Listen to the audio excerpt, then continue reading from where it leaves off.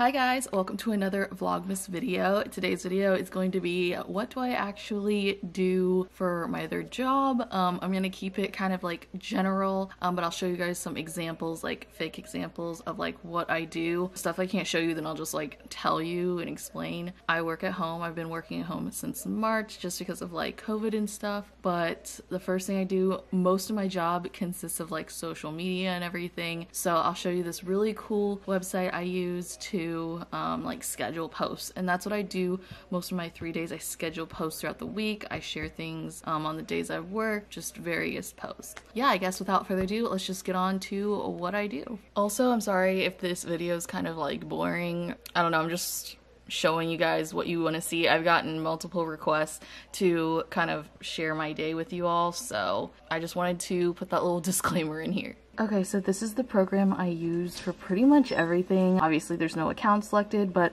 I just use it for social media to schedule things. It's really handy. You could schedule tweets, Facebook posts, Instagram. I normally just do a Facebook and Twitter. I'm gonna actually pretend to share something. I'm not actually gonna share it, but I'm gonna pretend to share something like, I don't know, let's just do this video. I'm gonna pretend to share this so I get the link and then I just like copy the link go back to here and then paste the link in this um, box and then click attach. And then I'm just gonna like say hi.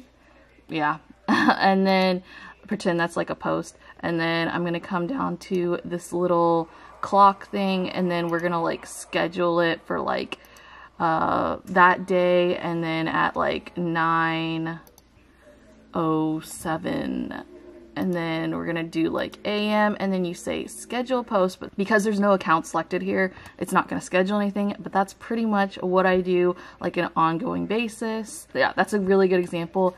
If you didn't have a link you can always like schedule your own video or photo here. It's really convenient actually so I'm just gonna get started on scheduling posts. Okay, so I got a lot of posts scheduled for today. Now I'm going to just make posts on Instagram so you guys all know what that looks like. Okay, so I just got done up posting on Instagram and now I am going to deliver a file.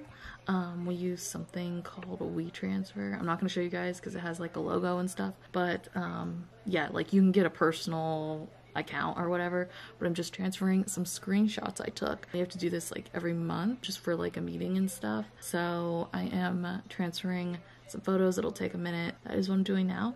Um, just so you guys know, I also do a lot of other stuff. So I might help filming an event or setting up a tent somewhere. Um, but right now, like most of my work is done at home. Okay, so I also do this thing called the community calendar where we put like events and stuff. So this is like a fake one. We do like this weekend. So this weekend is like the 12th and then 13th and then upcoming is going to be like next week.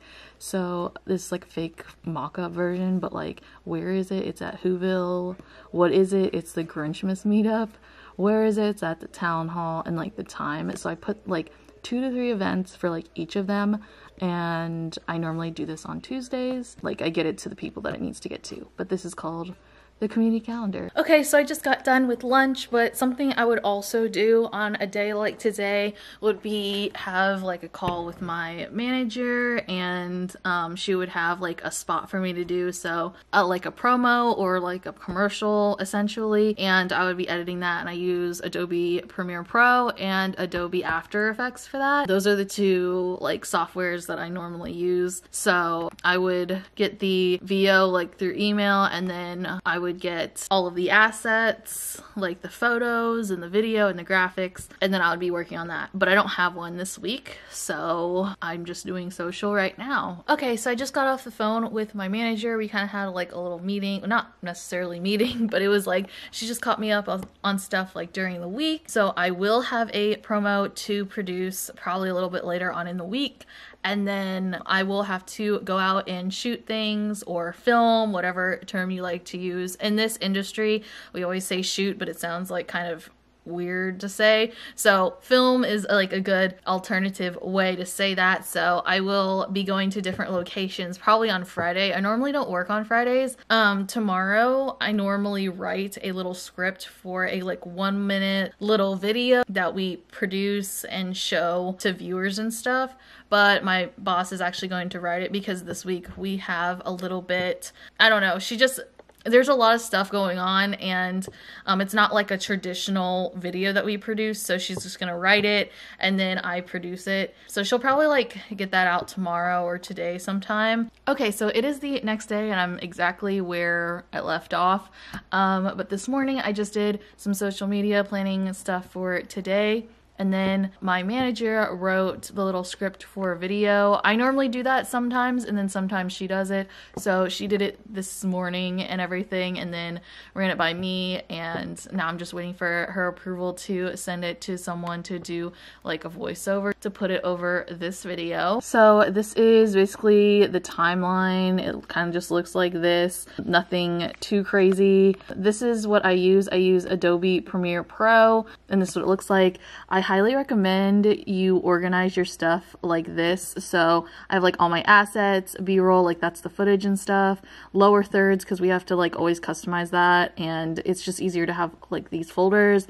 This stands for sequence. The sequence is the timeline thing um, and then the voiceover. So basically all of this, the assets are like the transitions and the like full screen graphics and stuff. So that is basically how I organize like all of my footage when it comes to work stuff. When it comes to YouTube stuff, I don't use Premiere Pro. I use Final Cut because Final Cut is just so easy to use and everything. And I actually don't organize any of my footage. I just put it in the order that I filmed it in. So it's a lot less like, I guess, tedious as one would say when it comes to YouTube. But when it comes to work, there's like a lot of like different little elements. And when it's organized, it just makes it a lot easier. Yeah, I just wanted to show you guys that I like, I basically organized all the footage and everything. I'm probably to work on the lower thirds now, which I use Adobe After Effects. And basically I just customize it. Like I just changed the text, nothing too exciting about that, but that's probably what I'm gonna work on now. I just want to show you guys that I like got it all ready. So when we get the VO, I just like literally match everything and just do like the final touches when it comes to that. So um, I hope that kind of like gives you an idea of this thing that I do. And I think I already said this, but I think I have a